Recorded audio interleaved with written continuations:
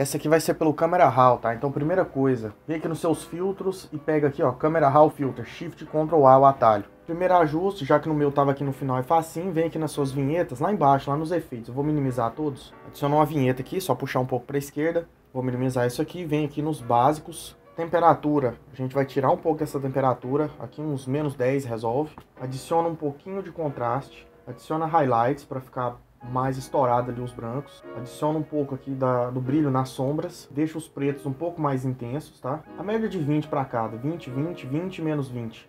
Desejando, pode colocar uns 10 aqui de clareza aqui. O de reis você deixa. E aqui a vibração, pode colocar uns 20 também. Vou minimizar esse menu e vou vir aqui no menu de calibração, aqui no último. E nesse menu eu vou adicionar um pouquinho de verde, tá? Nesse verde primário aqui, ó.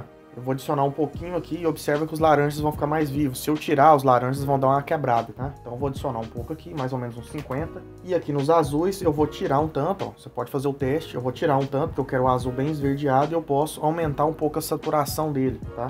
E você pode vir aqui por fim, seu painel de curvas, dar uma subidinha aqui, ó. Cria outro ponto.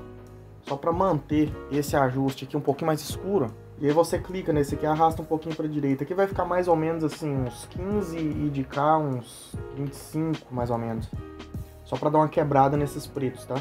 Se você quiser as sombras mais azuladas, clica aqui no seu canal de azul e sobe um pouquinho esse tom azulado aqui, ó, aqui na base, tá? Detalhe, só para ficar mais nítido, você pode aumentar o sharpen aqui mais ou menos uns 15, de 15 a 20. E basicamente é isso, tá? Tá feito o nosso ajuste. Para salvar esse preset aqui, você clica aqui, ó, clica aqui nesses três pontinhos, tá?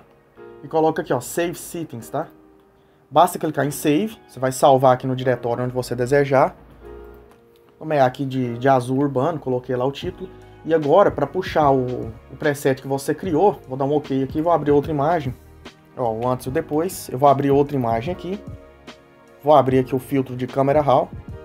Vou clicar aqui nos presets e eu vou clicar aqui nessa setinha de presets do usuário, tá? Olha lá, ó, azul urbano. Pronto, tá feito. Dou um OK. Tá aí o antes e o depois. Se tiver achado útil, deixa o joinha. Interessado em aprender todas essas funções, ferramentas, Photoshop completo, voltado para foto manipulação e edição de foto profissional. O link do meu curso completo tá na descrição. Se tiver alguma dúvida, pode me chamar no Insta também. Agradeço demais. Valeu, sucesso!